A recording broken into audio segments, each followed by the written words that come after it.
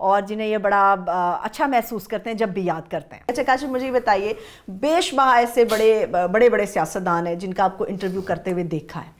किसका इंटरव्यू ज़िंदगी में आपने ऐसा किया हो जिसके ऊपर आपको थोड़ा सा खौफ महसूस हो? हाय मैं कहीं ऐसा सवाल ना कर दूँ या मैं वैसा सवाल ना कर दूँ।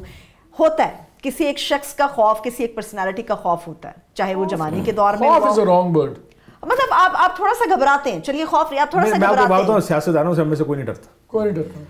हम में से आप ये चार लोग बैठे हैं आई एम प्रीटी श्योर के सारे सारे आपसे आपको ये बताएँगे कि सियासतदानों से हमें नहीं डर लगता। कभी कभी वो नवाज़ शरीफ है वो इमरान खान है वो आसिफ जरदारी बिलाव वो एवर इट इज़ कोई नहीं खौफ खाता।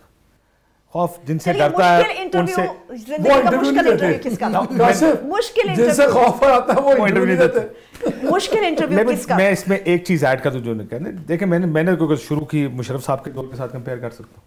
तो मुशरफ साहब को देख मार्शल लॉ का दौर है तो मार्शल लॉ के दौर में तो आपको पता है ना कि एडवर्सरी सामने कौन है आप क्या कर रहे हैं कौन सामने है क्या करना है क्या नहीं सही बात everything is spelled out clearly black and white में सामने है सारा। और अगर उनके साथ पॉलिटिशियन है भी कोई तो वो भी आपकी साइड पे भी है।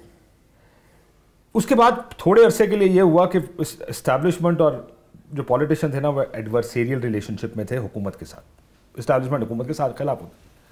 वहाँ पे बड़ी स्पेस निकलती है। वो आपस में लड़ रहे होते थे तो आप इधर भी जा सकते हैं उधर भी जा सकते हैं सब निकल जाते एक पेज ने रोल दिया। ये एक पेज ने बड़ा बर्बाद किया हमको। जब हुकूमत और इस्टेब्लिशमेंट आपस में इकट्ठे हो गए क्योंकि जिस जगह इस्टेब्लिशमेंट अपना वज़न इस्तेमाल करके आपको दबाना चाहती है वो इस्टेब्लिशमेंट कर जाती है। जहाँ उनको हुकूमत की ज़रूरत होती है वहाँ पैमरा को इस्तेमाल करते हैं या हुकूमत इस्तेमाल कर लेते हैं। देखिए मे, मेरा सवाल दरमियान में रह गया। वो रह जाएगा ये ये बड़ा सीरियस क्योंकि मसला है मैं आई जस्ट अच्छा चलिए किसका इंटरव्यू सबसे अच्छा लगता है आपको ये एक मिनट इस पे इस पे कर ले। अच्छा।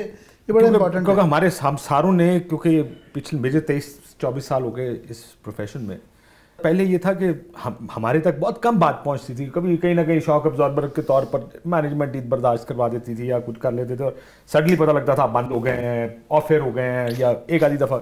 अभी बहुत ज़्यादा सख्ती आ गई है ज़ुबान में सख्ती आ गई है उनके तरीक़ाकार में सख्ती आ गई है।